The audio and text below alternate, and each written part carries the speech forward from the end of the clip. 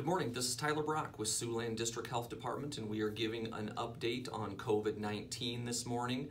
We have had three days in a row of zero new cases reported here in Woodbury County. Now, we're not going to jump up and down and claim victory here by any means whatsoever, but we will take the zero, the, the zero new cases. We're going to take small victories when we can get them, um, but again, we do expect more cases as the test results start coming in uh, more and more. So look for that, but again, no new cases in the last three days, and we will take it.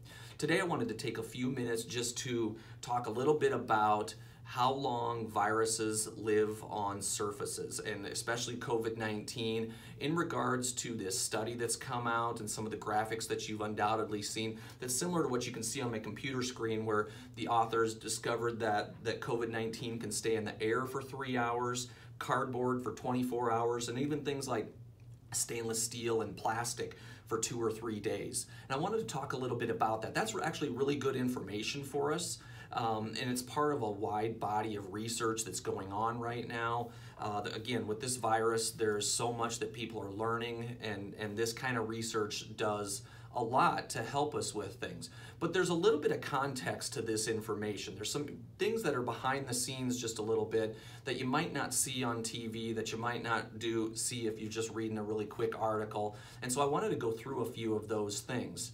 Number one, um, the point, the, the primary reason they did this, they did this study was not to freak us out with all the, the hours that this virus can stay on surfaces. It was mostly to compare this coronavirus to other coronaviruses like SARS.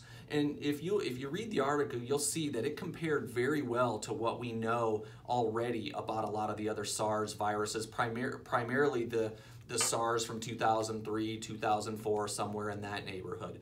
But another thing that you might not know, and you'll see it if you if you if you actually take the time to read through the article, is that they they put this virus into a nebulizer okay and then they aerosolized this they aerosolized it into the air really fine aerosol particles in reality this virus gets spread through droplets, okay? And droplets, when we cough or sneeze, are a lot heavier than the aerosol particles that they used in this study. So droplets, because they're heavier, are gonna tend to fall a lot quicker. Most likely, they're not going to hang in the air for three hours like the aerosolized virus did in this study. The other thing, so, so what about the surfaces? What about the three days on plastic and the two days on stainless steel?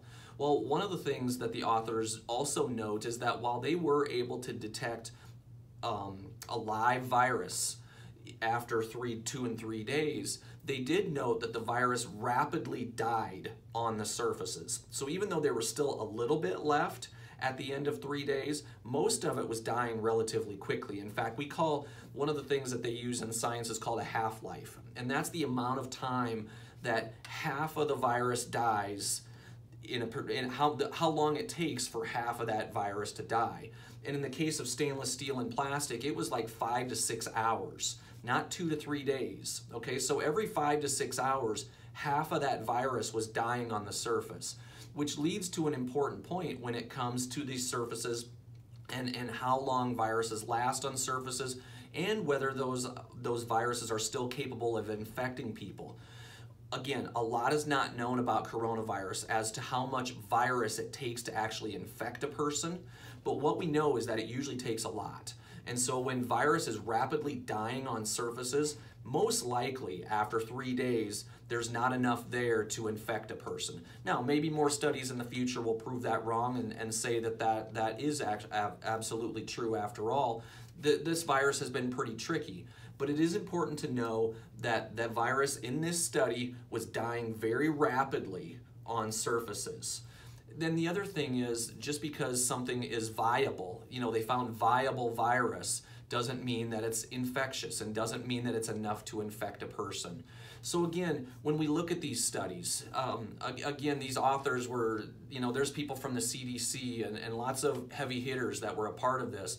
And they didn't put this together to frighten us, to, ma- to make sure that we're all really frightened of these kinds of things. They did it to, A, to compare this coronavirus to others, and just to see that it's demonstrating similar to what we know about other viruses. And the last thing I'll say is that all of these factors are already built in to the social distancing and the practicing good personal hygiene kind of things that we've already put in place. The social distancing of keeping three to six feet apart, that's going to make a big difference with, with particles in the air.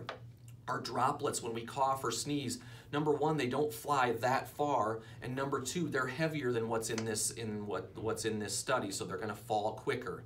Number number the last thing is again, even if there is viable virus on surfaces after two or three days, if we're washing our hands really good after we touch those surfaces, you're not going to get this. So use this information, you guys, not to be afraid, but to but to understand a little bit what's going on. And again, with all the research that's coming out, most of the time in, in articles and things like that, you're just getting the headlines. You're getting a couple of pieces of information that people are pulling out of these studies. And I don't, we don't expect everybody to go and read all these journal articles and that kind of thing, but just do understand that there usually is some context to this information that we're putting out. So anyway, I hope that helps a little bit, answer some questions about surfaces and, and viruses and how long they last. Until tomorrow.